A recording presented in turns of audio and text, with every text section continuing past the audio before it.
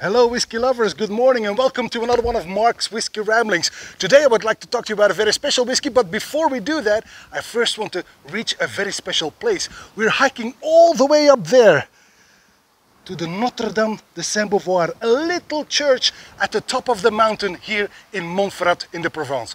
But it will be quite a hike before we are there, so let's let's move this along.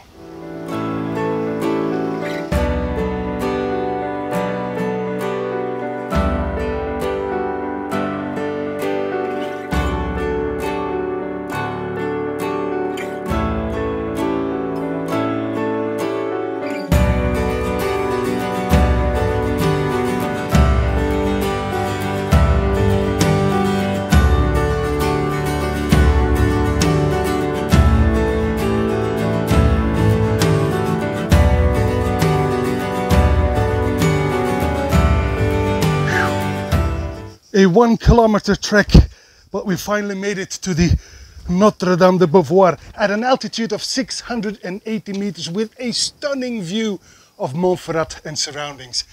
It was quite the trek, but well worth it. The solitude of this place makes me humble. But enough already with the touristy things. We are here, of course, to talk about a whiskey, and the whiskey that I would like to try today is one from Milk and Honey Distillery. The Milk and Honey Distillery can be found in Tel Aviv in Israel, not the first country you would think of when you think about, uh, about whiskey. But they've been around for a while and I have to be honest, they've grown on me. I've become quite fond of uh, Milk and Honey's whiskies and there is one series called Apex, the Milk and Honey Apex and Apex means top, the top, which is, see what I did there?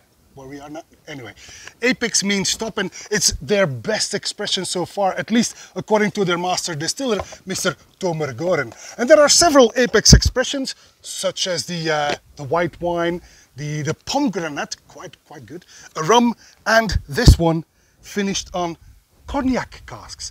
They don't reveal which cognac house they use and it could be each and any one of them. All I know is that it is a small cognac producer from France well, obviously from France, it's cognac, but uh, they don't reveal which producer they, uh, they collaborated with. It could be any one of them. There's literally hundreds of little cognac producing families in France. so we will be trying this Milk and Honey Apex cognac cask, and uh, this is bottled at 59.4% ABV. They've actually made 1,077 uh, bottles of this, uh, distilled in 2017 and uh, bottled in 2020. Whew. Beautiful color. Let me just get rid of the hat here for a second. Whew. yeah, you can't tell, or maybe you can. Well, you can't feel it through the camera, of course, but it's scorchingly hot here on top of this mountain. It's around 35 degrees Celsius. It's the peak of summer, and here we are trying a single malt. Why the hell not? Look at that beautiful bronze color, and look how it clings to the glass. Absolutely stunning. This is going to be a cloying, sweet, full-bodied malt, I can already tell. Beautiful color. Ah, beauty is in the eye of the beholder. The uh, milk and honey apex cognac casks on the nose. I get notes of applesauce, pa pastry, cocoa powder, chocolate with apricots, some peach, cinnamon and cloves. There's a lot going on here and you can in fact discern a bit of cognac notes in there. There's also some late aniseed and some acacia honey. Oh, this is definitely off to a good start. Right, on the palate. Mmm, creamy, as promised. Oh, it's almost syrupy. Very powerful, in fact. 59.4%. Percent, excuse me. Just goes to show. Very powerful, in fact. Uh, I get cinnamon again, some cloves, and even some chili pepper, but also some mint. So you have these very strong and powerful peppery notes, and then some lifting mint, making a fine counterbalance. And then the fruit kicks in. I get some red fruit, some yellow fruit, and a truckload of baked apples, and that is, without a shred of a doubt, the influence of the cognac casks.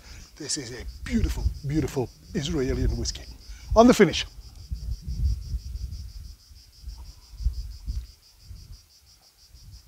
Ah, nicely long, more baked apples, some malty notes there, a bit of burnt butter towards the end.